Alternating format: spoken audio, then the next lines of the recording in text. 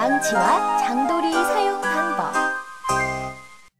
망치와 장도리의 사용 방법을 단계별로 익혀보도록 합시다. 우선 못 박을 곳을 펜으로 표시합니다.